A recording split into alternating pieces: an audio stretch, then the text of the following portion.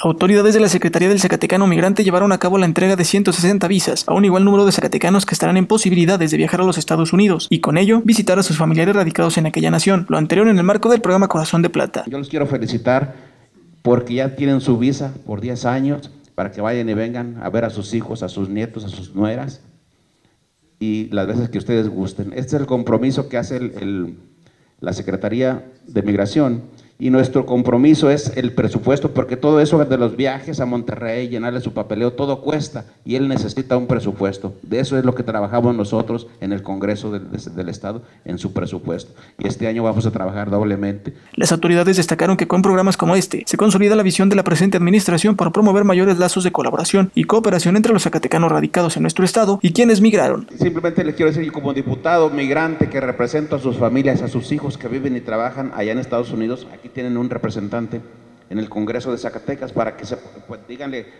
que estén en contacto con nosotros para cualquier problema que podamos trabajar en ello.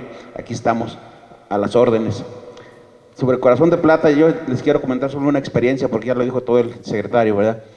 En cierta ocasión estaba una, había una audiencia de un gobernador y llegaron los hijos de ustedes con el gobernador a agradecerle este programa y le dice uno de ellos, señor gobernador, mis hermanos que estamos aquí en Estados Unidos ya nos habíamos despedido de nuestros padres, nuestros padres enfermos, no había modo de que vinieran a Estados Unidos y nosotros, pues si salimos ya no podemos regresar. Son experiencias que le parten a uno el corazón cuando las escucha, que ya se habían despedido por teléfono, hijo, le dieron la bendición, estoy muy enferma, muy enfermo pero gracias a este, nace este programa y esos padres que ya se habían despedido van y se reencuentran con sus hijos. Con imágenes de Alberto Hernández reportó para Canal 20 Juan Pablo Castro.